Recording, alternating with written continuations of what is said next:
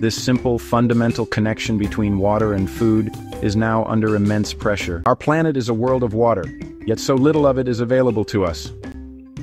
The challenge we now face is profound. How do we feed a growing human family on a planet with finite resources? Our crops, the very foundation of our civilizations, are thirsty. They rely on a steady supply of fresh water to grow. They rely on a steady supply of fresh water to ripen they rely on a steady supply of fresh water to provide the sustenance we all need to survive. This simple, fundamental connection between water and food is now under immense pressure. We must find new ways, clever ways, to grow more with less. The future of our food supply depends on it. The health of our natural world depends on it. The task ahead is monumental.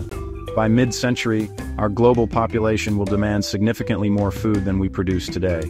This is not distant, it is taking shape with each passing season, yet the fresh water available to us remains a tiny fraction of all the water on Earth.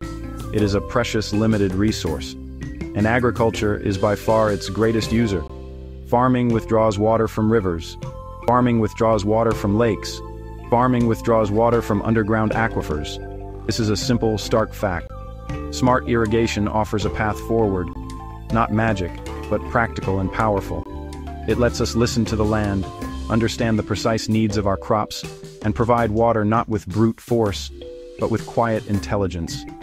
This is the story of a quiet revolution in fields around the world, one that could change our relationship with water forever.